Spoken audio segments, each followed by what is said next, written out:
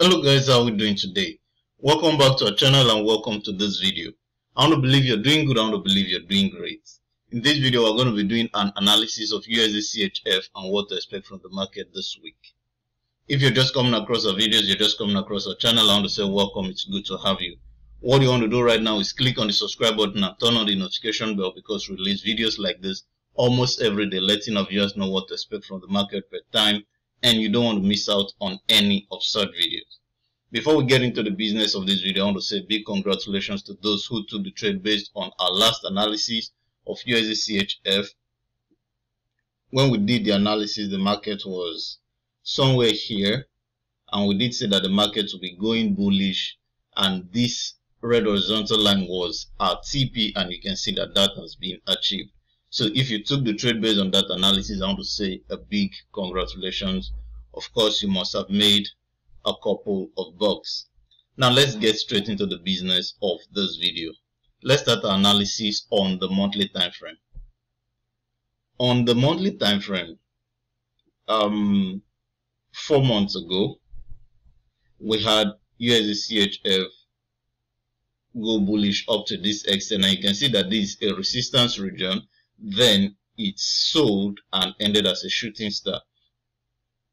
We were expecting it to sell after then, but it bought again and got to the top of the wick of the previous candle, then sold again within the same month, but it did not go far um, from the the open. That's the close was not far away from the open, and the next thing happened the same thing happened the next month, even though it did not get to the top of the wick, it stopped somewhere um, along the way, halfway, then closed like the previous candle. Then last month, which was the month of um, August, we were also expecting the market to go bearish, which it did. It sold till it came in contact with the 10-day simple moving average on the monthly time frame, then started buying again. So we can see that last month ended as a bullish month and the month of September just started. You can see it's a small candle. It's just started. Now let's see the weekly time frame. On the weekly time frame, we can see same thing I've been explaining. The market bought up to this extent, which was um, overbought, got to the overbought region the weekly time frame, you can see that then it started selling, but again it got to that region and sold again. Then it sold down to this region, it broke this um, support region and sold down here. Then last week we could see the market buy. Remember when we, we when our, we were doing our last analysis, we saw the 10 day simple moving average crossing over the candlestick here that was two weeks ago and we did say that that's a bullish entry trigger that the market will be going bullish. Then we can see last week ended as a bullish candle and our TP was attained. Then let's see this the daily time frame. On the daily time frame we can see the market but the market has been buying consistently for a while. I think this is three weeks now. It has been buying consistently for while till it got to this region which is another resistance region. And of course that was where we had our TP then we can see that last um, last wick the market ended on the daily time frame as a doji. It ended as a doji which is a sign of indecision and uncertainty. So we can see that from here we had the market have a long upper week which is a sign of bearish rejection this was Wednesday. Then on Thursday, we had the same thing, a long upper wick, which is another sign of bearish rejection. You can see that the wick on the upper side is longer than the wick on the lower side. You can see that. So it shows that there is more bearish rejection than or the bearish rejection is progressing. As you can see, this the wick here is um, shorter than the wick here. That's on the upper side, the upper wick or talking about then on Friday we had the market close as a doji. So we can see that the bearish rejection is progressing. Then until Friday we could see the bearish rejection was stronger than what it has been in the previous two days. Then the market ended as a doji. Then let's see the 4 hours time frame.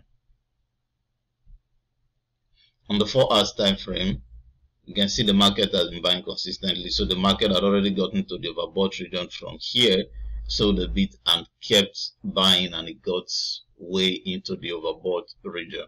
Then here we can also see that the market has made a double top. It has made a double top here and the market ended as a small bearish candle. So that's what has happened in the market within last week. So what do we expect from the market this week? Now let's start from here. We've seen a double top here, which is a bearish reversal chart pattern. That's one. Two, we have here um, the bearish Harami. Then three, we have the 10 day simple moving average about to cross over the candlestick, which is a bearish entry trigger. That's on the 4 hours time frame. Then on the daily time frame, I took out time to explain the progression of bearish rejection here. So at the close of this candle, which it closed, it ended as a doji, it shows that we have more bearish rejection. And we can also see that this is occurring um, on a resistance region. It shows that there is bearish pressure there. Then the RSI on the daily time frame has gotten to the overbought region, which is a sign that um, we should start looking out for bearish move or bearish entry triggers. So for that reason, we are looking out for bearish moves. Then, okay, the weekly time frame doesn't have much to say in this regard. So combining the facts that we've seen on the 4 hours and daily time frame, we can safely say that the market will be going bearish this week. The market will be going bearish this week. And I'm expecting the market to sell down to this region. Although that could take more than a week. But if you want to see how far it could go within this week, I will say this region. It could sell down to this region because this is the next um, the next support region. So we could want to target here as our TP1 and here as our TP2. So I'm expecting the market to sell down to that region. But if you would like to just take a trade and hold for, um, you're willing to hold for more than a week, I think you should just set your TP here and allow the market to do its thing. So that's what we're expecting from the market this week. If you have a different opinion, you can use the comment section. If you have any question, you can also use the comment section. I'll be glad to have a conversation with you like we always say, trading is a highly risky endeavor. You don't venture into trading without proper knowledge. If you want to register for our complete forex training, check the description of this video. You're going to see a link where you can register for complete forex training, where we give beginners to advanced classes, ebooks, and lifetime mentorship. Then, if you want to subscribe for our signal service, we'll give proper entry, stop loss, and take profit. Check the description of this video. You're going to see a link where you can subscribe for our signal service. And if you want to get a copy of my book, Trading Without Tears, also check the description of this video. You're going to see a link where you can get the soft copy. If you want the hard copy, send us a direct message to any of our social media handles. Tell us your location. We'll tell you the cost of shipping it. Once your payment is confirmed, you have the book delivered to you. So that's it from us on this video. I hope you got value. See you in the next video. Bye for now.